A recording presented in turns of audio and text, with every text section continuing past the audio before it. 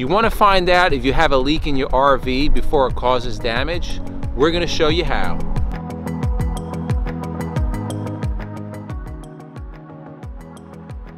Hey guys, it's Izzy from Endless RVing, the channel that brings you the best in RV DIYs, product reviews, RV tours, and so much more. In today's video, we're going to show you how to check your freshwater system for leaks. So let's get right to it.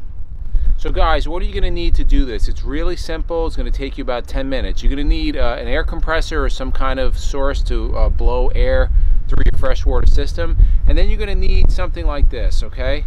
and this is kind of a, a, homemade thing and what it consists of the most important part is this test plug in here okay you need this specific test plug because if you look at the end here what this little piece here is going to do is going to push the check valve that's in your freshwater intake and then the rest of it here is the stuff you can get at big box stores these are just quarter inch here's a quarter inch uh, nipple here I believe it's three inches long quarter inch T and then you have a, a quarter inch uh, valve, a manual shut-off valve, quarter inch uh, Schrader valve, and then you just have a pressure gauge up top. I believe this is up to 100 pounds, okay? So I'm gonna set this up and then we'll show you exactly what to do.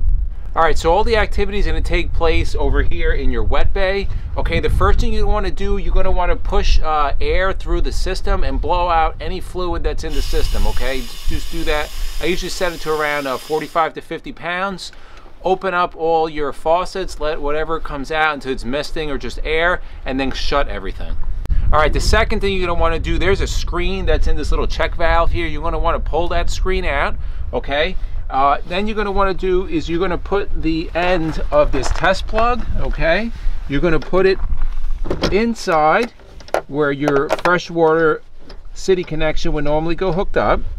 Make sure if you have a uh, valve that allows you to fill or uh, fill your tanks or go to the city water that it's on city okay and make sure this is tight what's really important guys before you run this test Make sure all your connections are nice and tight so you don't get any leaks from your actual connection itself. All right, the next step, we have everything connected to our freshwater hookup. You wanna, wanna make sure your uh, manual override here is in the open position. And then you're going to uh, fill up with air. I'm gonna fill up to 50 PSI. And you're just gonna get that reading off the gauge. Again, make sure all, right now it's at about 51 PSI, okay?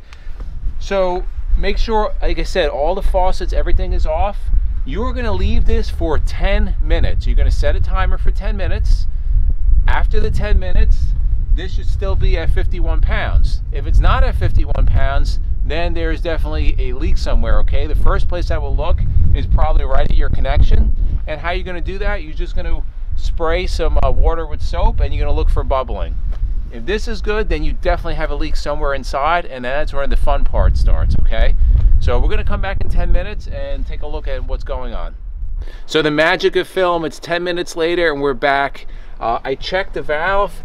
It is still at 51 pounds, which means we are good to go, no leaks, and we are good for our camping trip next week.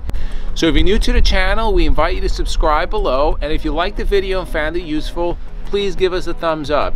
If you're looking to get the parts to make the actual uh, test kit, we'll be putting the links below in our Amazon affiliate link.